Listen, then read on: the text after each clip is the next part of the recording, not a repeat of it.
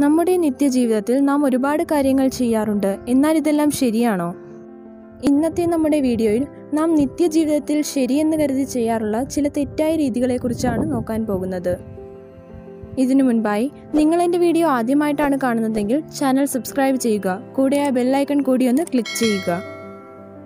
Number one നമുക്ക് എത്ര ഇന്ദ്രിയങ്ങളുണ്ട്. School ക്ലാസ്സുകൾ മുതൽ നമ്മൾ മിക്കവരും മനസ്സിലാക്കി വച്ചിരിക്കുന്നത് മനുഷ്യന് കാഴ്ച കേൾവി ഗന്ധം രുചി സ്പർശം എന്നിങ്ങനെ തന്റെ അഞ്ച് ഇന്ദ്രിയങ്ങൾ ഉപയോഗിച്ചാണ് ശരീരത്തിന്റെ പുറത്തു നിന്നുള്ള വിവരങ്ങൾ അല്ലെങ്കിൽ ചുറ്റുപാടിലുമുള്ള മാറ്റത്തെ തലച്ചോറിലേക്ക് എത്തിക്കുന്നത് എന്നാണ്. എന്നാൽ ഇത് തെറ്റാണ്. അങ്ങ് ക്രിസ്തുവിന് മുൻപ് ജീവിച്ചിരുന്ന അരിസ്റ്റോട്ടിലാണ് ഈ അഞ്ച് ഇന്ദ്രിയങ്ങൾ എന്ന ആശയം ഉണ്ടാക്കിയത്.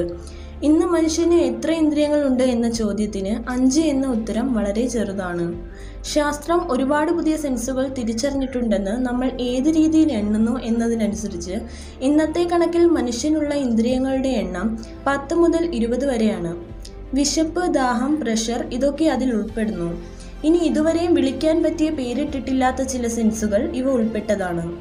ദേഷ്യമോ സങ്കടമോ വരുമ്പോൾ പ്രണയപരവശരാകുമ്പോൾ ഉണ്ടാകുന്ന കവിൾ തുടുക്കലിനെ നിയന്ത്രിക്കുന്ന സെൻസുകൾ മർദ്ദവും ചൊറിച്ചിലും ഉണ്ടാക്കുന്ന സെൻസുകൾ എന്നിങ്ങനെ ആ പട്ടിക നീളുന്നു. Number two. പല്ല് തേക്കാൻ എത്രമാത്രം പേസ്റ്റ് വേണം? നമ്മൾ ദിവസവും ചെയ്യുന്ന ഒരു കാര്യമാണ് പല്ല് തേക്കുന്നത് അല്ലേ? ഇനി അല്പം വൃത്തി കൂടുതലുള്ള ആളാണെങ്കിലോ? ബ്രഷിൽ നിറയെ പേസ്റ്റ് തേച്ച് വെച്ചില്ലെങ്കിൽ ഒരു സമാധാനവും ഉണ്ടാകില്ല. പറഞ്ഞത് ശരിയല്ലേ? എന്നാൽ നിങ്ങൾ കാണിക്കുന്നത് ഒരു വലിയ മണ്ടത്തരമാണെന്ന് ഓർക്കുക ശരിക്കും പയർമണിയുടെ അത്രയും പേസ്റ്റ് മാത്രം ഉപയോഗിച്ചാൽ മതിയാകും എന്നാണ് ഡോക്ടർമാരും മറ്റും പറയുന്നത്. പേസ്റ്റ് കൂടുതൽ ഉപയോഗിക്കുമ്പോൾ അത് നിങ്ങളുടെ പല്ലിനെ തന്നെയാണ് ബാധിക്കുന്നത്. അധികമായാൽ അമൃതും വിഷമെന്ന് പറയാറില്ലേ? ഇനി ഏറ്റവും ശ്രദ്ധിക്കേണ്ടത് കൊച്ചുകുട്ടികളുടെ കാര്യത്തിലാണ്. വളരെ കുറച്ച് അളവിൽ മാത്രം അവർ ഉപയോഗിച്ചാൽ മതിയാകും. കൂടുതൽ ഉപയോഗിക്കും തോറും പല്ലിന്റെ നശീകരണത്തിന് അത് കാരണമാകുന്നു. അപ്പോൾ ഇനിയെങ്കിലും നിങ്ങൾ കൂടുതൽ പേസ്റ്റ് ഉപയോഗിക്കുകയാണെങ്കിൽ ഇക്കാര്യം ഒന്ന് ശ്രദ്ധിക്കണേ. Number three. തണുത്തതോ ചൂടുള്ളതോ ആയ പാനീയങ്ങൾ കുടിക്കുമ്പോൾ നമ്മൾ പലപ്പോഴും തണുത്തതോ ചൂടുള്ളതോ ആയ പാനീയങ്ങൾ ഗ്ലാസ്സിലൊക്കെ ഒഴിച്ച് കുടിക്കുവാറുണ്ട് അല്ലേ? ഇവ നമ്മൾ കുടിക്കുമ്പോൾ പലപ്പോഴും ഗ്ലാസിന്റെ നടുവിലാണ് കൈപ്പിടിക്കുന്നത് ഇത് തീർത്തും തെറ്റായ ഒരു കാര്യമാണ്. ഇങ്ങനെ ചെയ്യുമ്പോൾ എന്താണ് ഉണ്ടാകുന്നതെന്ന് നമുക്ക് നോക്കാം. നമ്മുടെ ശരീരത്തിന് ഒരു താപനിലയുണ്ടെന്ന് അറിയാമല്ലോ. ഇതിൽ തണുത്തതോ ചൂടുള്ളതോ ആയ പാനീയങ്ങൾ എടുത്ത ഗ്ലാസ്സിൽ നമ്മുടെ കൈ പിടിക്കുമ്പോൾ പാനീയത്തിന്റെ താപനിലയും വ്യത്യാസമുണ്ടാകുന്നു. ഐസ്ക്രീം എല്ലാം നമ്മുടെ കയ്യിലിരിക്കുമ്പോൾ തന്നെ പെട്ടെന്ന് അലിഞ്ഞു പോകാനുള്ള കാരണവും ഇത് തന്നെയാണ്. അതുകൊണ്ടാണ് ഇത്തരത്തിലുള്ള പാനീയങ്ങൾ കുടിക്കുമ്പോൾ വൈൻ ഗ്ലാസ് പലപ്പോഴും ഉപയോഗിക്കുന്നത്. ഇനി വൈൻ ഗ്ലാസ് അന്വേഷിച്ച് നടക്കണ്ട. ഗ്ലാസിന്റെ മേൽഭാഗത്ത് പിടിച്ചാലും മതിയാകും. നമ്പർ ഫോർ പഴത്തിന്റെ തൊലി പൊളിക്കുന്നത്.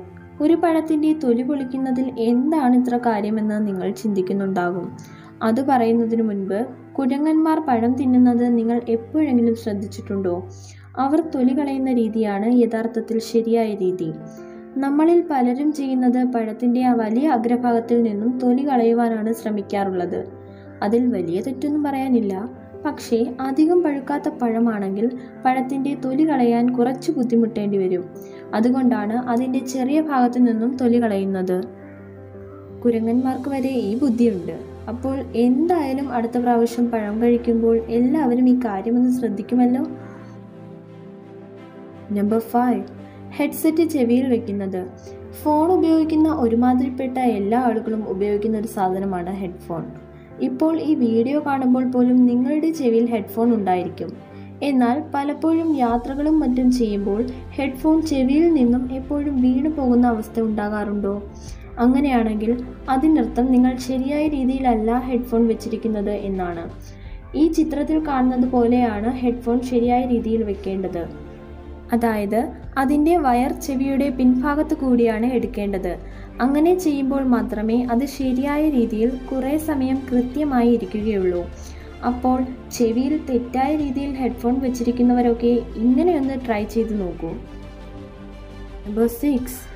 പാചകത്തിന് ഉപയോഗിക്കുന്ന പാത്രങ്ങൾ. നമ്മൾ അടുക്കളയിൽ പാചകത്തിനായി പലതരത്തിലുള്ള പാത്രങ്ങൾ ഉപയോഗിക്കാറുണ്ട്. നിങ്ങളിൽ എത്ര പേര് ശ്രദ്ധിച്ചിട്ടുണ്ടെന്ന് എനിക്കറിയില്ല. ചില പാത്രങ്ങൾ പിടിക്കുന്ന ഭാഗത്ത് ഒരു ചെറിയ ദ്വാരം കാണാം. ഒരുപാട് ആളുകൾ അത് വിചാരിക്കുന്നത് പാത്രങ്ങൾ തൂക്കിയിടാൻ വേണ്ടിയുള്ളതാണെന്നാണ്. അങ്ങനെ ചെയ്യുന്നതിൽ തെറ്റൊന്നുമില്ല. എന്നാൽ ഇത്തരത്തിൽ ദ്വാരങ്ങൾ നൽകിയിരിക്കുന്നതിന്റെ പ്രധാന ഉദ്ദേശം മറ്റൊന്നാണ്. നമ്മൾ പാചകം ചെയ്യുമ്പോൾ മിക്സ് ചെയ്യുവാനും മറ്റുമായി ഉപയോഗിക്കുന്ന സ്പൂണുകളും തവികളും ഒക്കെ ഉപയോഗിക്കാറുണ്ട് അല്ലേ? അവ വയ്ക്കുവാൻ വേണ്ടിയാണ് ഇത്തരത്തിൽ പാത്രങ്ങളുടെ പിടിയിൽ ദ്വാരം നൽകിയിരിക്കുന്നത്. നമ്പർ സെവൻ എത്ര ദിവസം കൂടുമ്പോഴാണ് ജീൻസ് കഴുകേണ്ടത്? ഇന്ന് സ്ത്രീകളും പുരുഷന്മാരും ഒരുപോലെ ഉപയോഗിക്കുന്ന ഒരു വസ്ത്രമാണ് ജീൻസ്. നമുക്കിടയിലെ ചില കൂട്ടുകാർ ജീൻസ് കഴുകാറില്ല എന്ന് പറഞ്ഞ് കളിയാക്കാറുണ്ട് അല്ലേ? എന്നാൽ ഇനി അങ്ങനെ കളിയാക്കാൻ വരട്ടെ. പൊതുവെ ജീൻസ് അധികം കഴുകുവാൻ പാടില്ല എന്നാണ് പറയുന്നത്. ജീൻസ് കഴുകും തോറും അതിന്റെ നാശത്തിന് കാരണമാകുന്നു. അതുകൊണ്ട് തന്നെ ജീൻസ് ഒരു പ്രാവശ്യമൊക്കെ ഇട്ടതിന് ശേഷം കഴുകേണ്ട ആവശ്യമില്ല. വേണമെങ്കിൽ നിങ്ങൾക്ക് ചെറിയ വെയിലിൽ ഉണക്കി സൂക്ഷിക്കാവുന്നതാണ്. ഇപ്പോൾ ഇനി ജീൻസൊക്കെ ഉപയോഗിക്കുമ്പോൾ കഴുകേണ്ട ആവശ്യമില്ലെന്ന് മനസ്സിലായില്ലേ? മാസത്തിൽ ഒരു തവണയൊക്കെ ജീൻസ് കഴുകുന്നവർക്ക് ഇത് കേൾക്കുമ്പോൾ നല്ല സന്തോഷമായി കാണും. ഇന്നത്തെ വീഡിയോ എല്ലാവർക്കും ഇഷ്ടമായെന്ന് കരുതുന്നു. ഇഷ്ടപ്പെട്ടാൽ ലൈക്ക് ചെയ്യാനും ചാനൽ സബ്സ്ക്രൈബ് ചെയ്യുവാനും മടിക്കരുത്. വീണ്ടും മറ്റൊരു വീഡിയോയിൽ കാണുന്നതുവരെ ഗുഡ് ബൈ